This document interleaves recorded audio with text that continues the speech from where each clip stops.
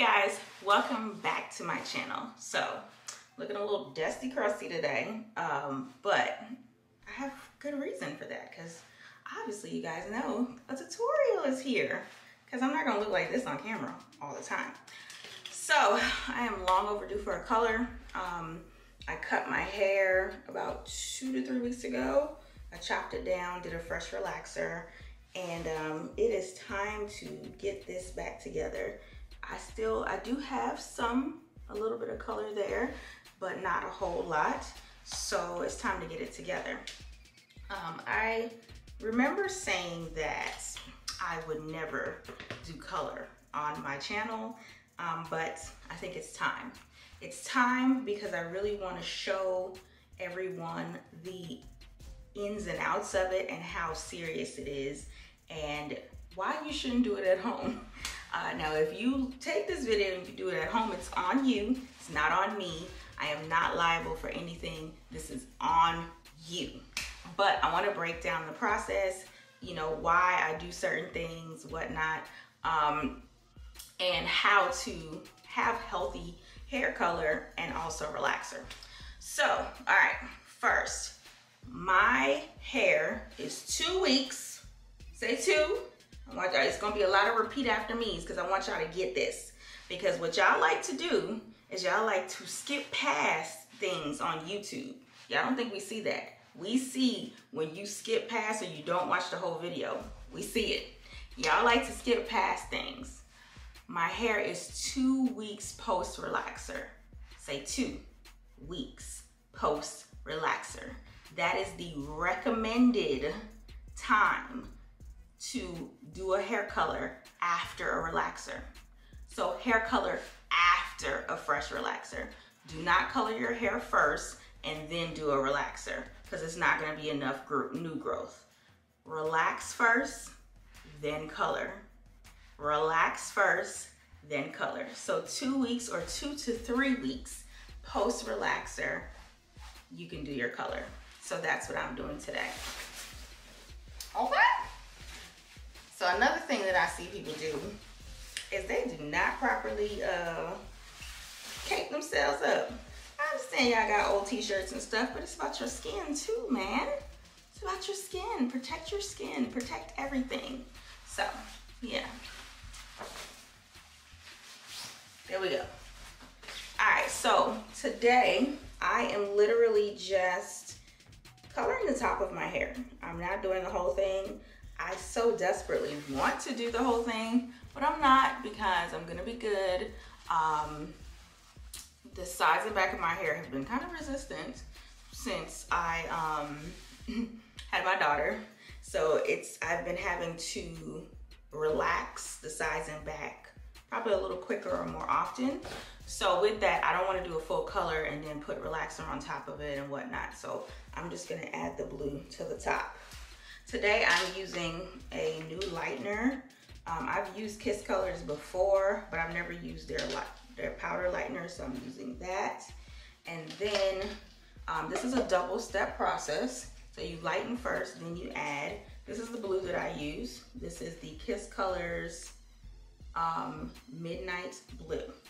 So we're going to, um, and then honestly, I don't really color my hair really neat like I said, I'm doing the top and it's gonna be like kind of all over the place, but you know, it looks good in the end.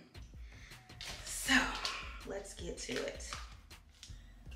When it comes to the lightener, the powder lightener, you follow the instructions on the box or on the tub. So however much you need, you follow the instructions based off of that. Um, some people use a scale, especially in the salon, to weigh the color to make sure that you're doing what you need to do. So, we got our gloves.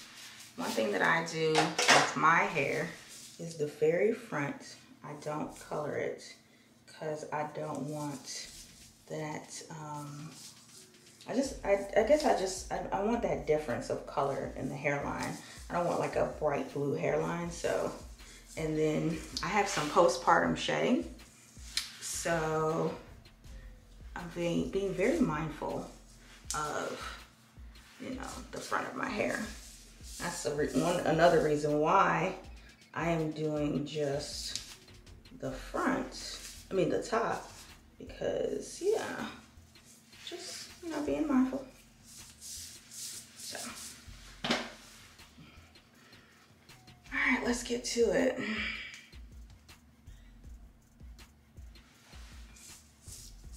So, like I said, I'm just, it's not gonna be neat for me at all. Starting on the ends.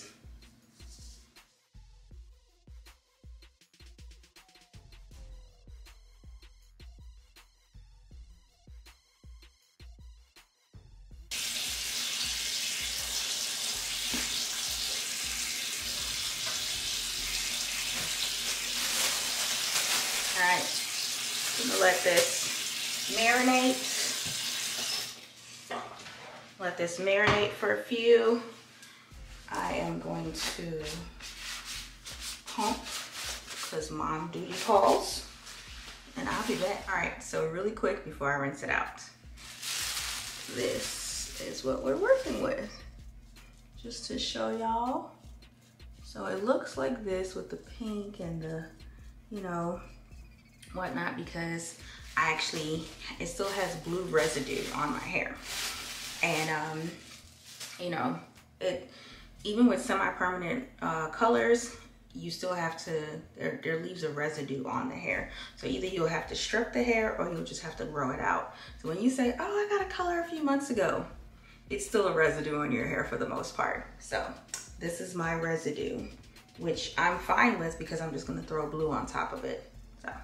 Let's go rinse it out. All right, guys, hair is rinsed.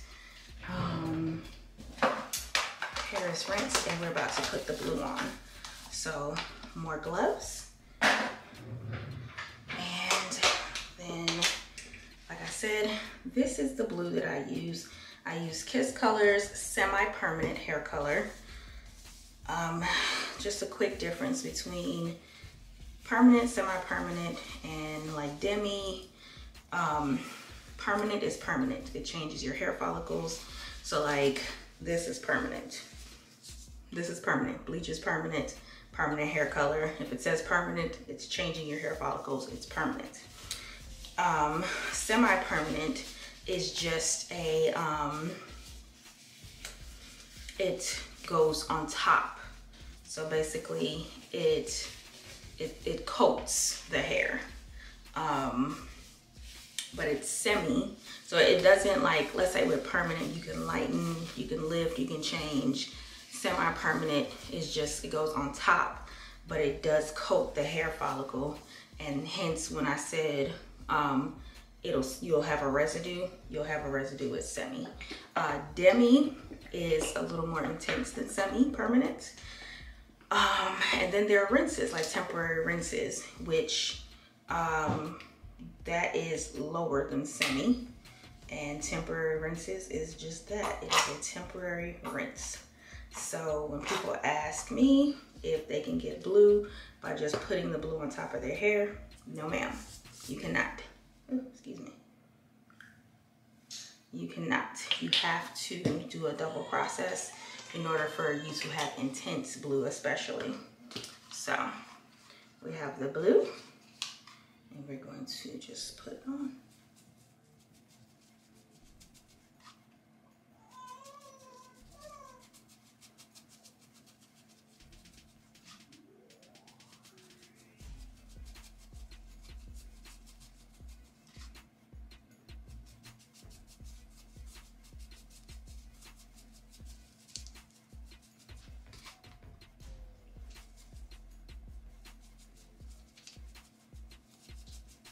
Gonna put a cap on this and let it process, or you don't have to put a cap on it actually. Let it process for about 15 minutes or so. You should get that blue off of your hair. One thing I didn't do is I did not base my hairline with anything, but see, that's what I'm talking about stylists. We just do stuff random. So, but it'll come off. So let this process a little bit and we'll rinse it out. All right, guys, finally back. Hair is blue. We're about to get into this mold. So, this bright, y'all. That is bright, but I like it. So, yeah, so let's get into this mold. Um, yeah, let's get into this mold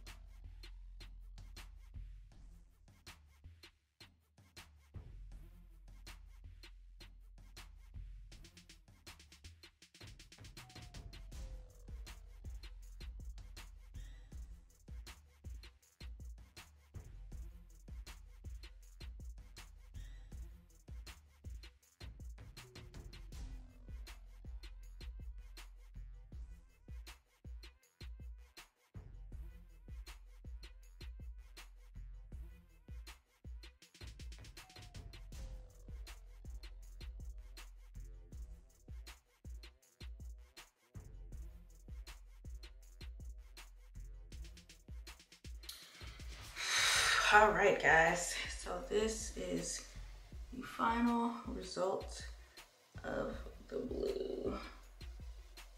Just getting the dye residue off of my hairline which happens when I mold my hair. But yeah this is the full process. All I'm about to do now is you guys know I wear my hair really simple. So I'm literally going to throw some oil on it, throw some wax, we are done. We are done. And my color, I usually, I, I will have to refresh the blue because like I said, it's semi-permanent. So it does rinse out and it will fade. Um, so, so I, um,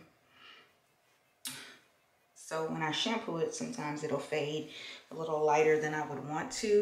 So what I do is I just put the blue on top. It does not affect the hair. It does not damage the hair or anything like that because it's semi-permanent. It's just coating on going on top. Um, so yeah. And then this, like the whole process that I did today, I probably won't do that again until a few months from now. Like because until it grows out, until I cut it off. Um, so it'll be a few months before I do this whole thing again.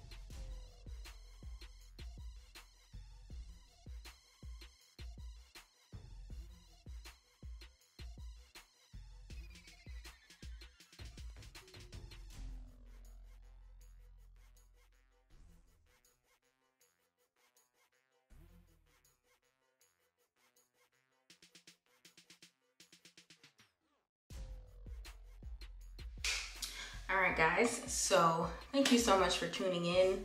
I hope this video really helped you guys breaking down the whole color process, what it takes and whatnot. Um, love you guys so much. Thank you again for tuning in and I will see y'all in my next tutorial.